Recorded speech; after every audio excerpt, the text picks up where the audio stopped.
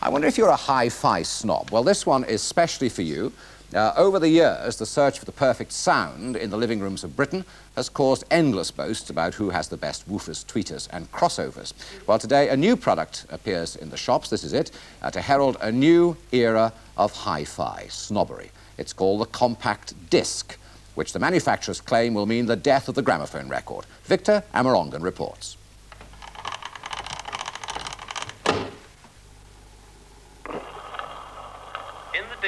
Wind-up gramophone in the 78, just getting a sound of any kind was considered to be a miracle.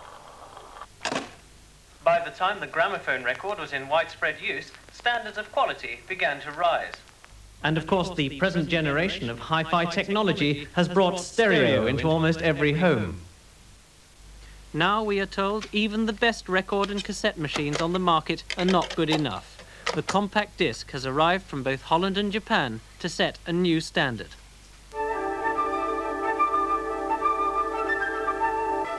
The ordinary record player uses an elliptical stylus which travels through a V-shaped groove to pick up the sound. Because of the physical contact with the disc, the problems of dust and damage are all too familiar, are all too familiar, are all too familiar. The compact disc works on a completely different principle. For a start, it's played from the underneath side, and instead of a needle, a beam of laser light picks up a series of digital pits and troughs.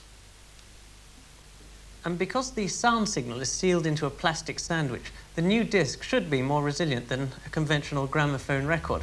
Well, let's give it the breakfast time test. Some honey, nice and sticky and runny. Smear that over liberally. Make sure it's nicely spread around there. Bit of coffee.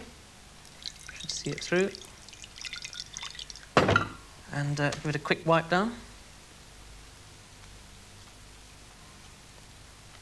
Right, that should be it. Let's see how it sounds.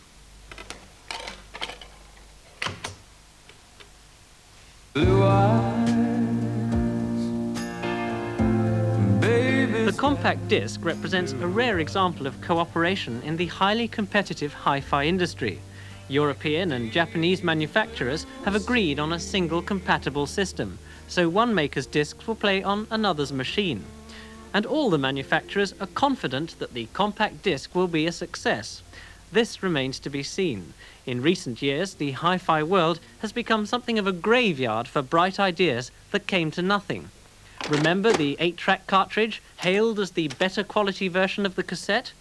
Remember the Elcaset, launched just a few years ago as the ultimate in tape snobbery?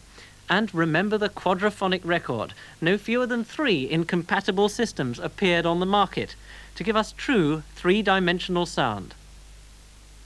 So isn't there a danger that the compact disc could go the same way? Yes, there's one major difference in that compact disc and digital audio in general is a real improvement, whereas with quadraphonic discs, I think a lot of improvement existed in the minds of the marketing people. The compact disc system does have one major snag, the price.